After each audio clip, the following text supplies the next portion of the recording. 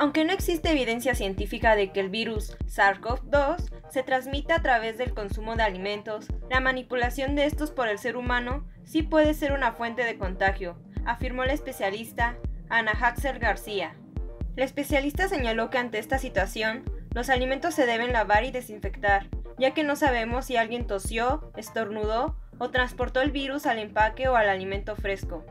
Además de limpiar y desinfectar las superficies con una solución de agua con alcohol en proporción 70-30 o cloro, así como lavar con agua y detergente utensilios antes y después de manipular alimentos.